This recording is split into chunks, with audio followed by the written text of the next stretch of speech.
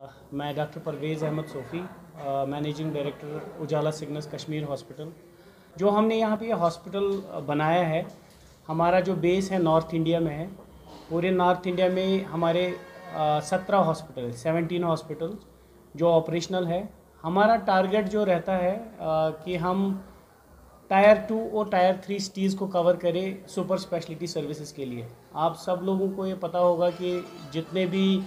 हमारे issues health related है, वो बहुत ज़्यादा है।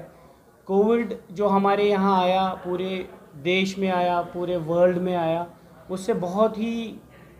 प्रॉब्लम्स क्रिएट हो गई बेड्स की डिफिशेंसी क्रिएट हो गई ऑक्सीजन की कमी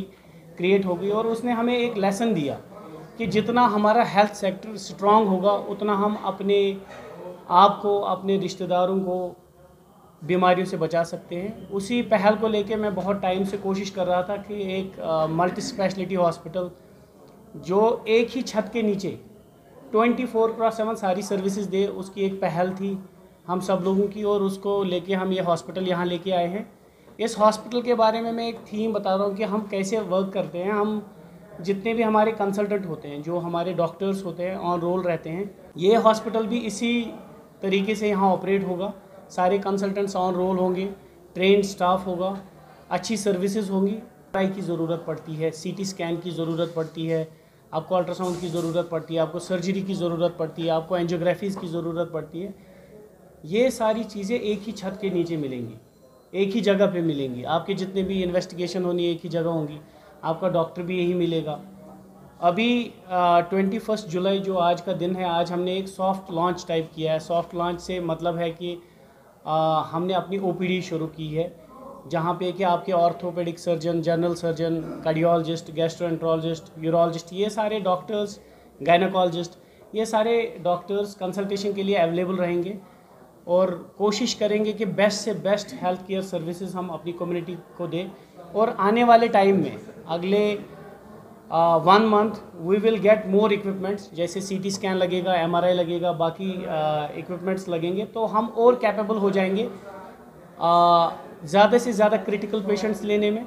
हमारा इस हॉस्पिटल का जो आईसीयू है वो ट्वेंटी बेडेड है जिसमें uh, अभी फाइव वेंटिलेटर्स लगेंगे और आने वाले टाइम में हम उन नंबर ऑफ़ वेंटिलेटर्स को बढ़ाएँगे। आप सबको ये पता होगा कि कोविड में भी या नॉर्मल सर्कमस्टेंसेस में भी कश्मीर में कितना मुश्किल होता है वेंटिलेटेड बेड मिलना, क्योंकि वेंटिलेटेड बेड रखना ही खाली इम्पोर्टेंट नहीं है, एक एक खाली मशीन नहीं है। इसके लिए हमें एक ट्रेन डॉक्टर भी चाहिए, एक ट्रेन नर्स भी चाहिए, एक ट्रेन स्टाफ चाहिए टीम चाहिए। इस इस पेशेंट के लिए जो ये वेंटिलेटर पे होता है, इससे हाउस कीपिंग से लेके एक ट्रेन डॉक्टर तक सब लोग बहुत ज़रूरी होते हैं, जो कि यहाँ पे अवेलेबल रहेगा। मैं इन सब न्यूज़ चैनल चैनल के माध्यम से सब लोगों को ये बताना चाहता हूँ कि हमारे दरवाजे आपकी खुशहाली के लिए ओपन है। ओ हमारे यहाँ शुरू हो गई हैं। तो आप इसका ज़रूर पूरा से पूरा फ़ायदा उठाएँ, यहाँ आए, अपनी एक्सपीरियंसेस ले और हमारी तरफ़ से मैक्सिमम कोशिश रहेगी कि हम वो सारी चीज़ें यहाँ प्रोवाइड कर पाएँ जो यहाँ डिफिशेंसीज़ है। अभी आने वाले टाइम में जो फ़ेज़ टू है हमारा हमारा प्लान है हम कैंसर का ट्रीटमेंट जैसे ऑन्कोलॉजी है ऑन्को सर्जरी है रेडिएशन ऑन्कोलॉजी है, वो भी आने वाले वक्त में हम यहाँ शुरू करेंगे, जिससे जो लोगों को बाहर जाने की ज़रूरत पड़ती थी और बाहर बहुत पैसा खर्च करने के बाद उनको ट्रीटमेंट करना पड़ता था, घर से बाहर रहना पड़ता था और एक ऐसी जगह पे जाना जहाँ आपको रिलेशनशिप बनानी है तो हम कोशिश करेंगे कि वो सारी चीज़ें आपको कश्मीर में ही प्रोवाइड कर पाए। दूसरा, जो कि दुनिया की सबसे बड़ी हेल्थ स्कीम है, आयुष्मान भारत या जिसको सेहत स्कीम भी बोलते हैं,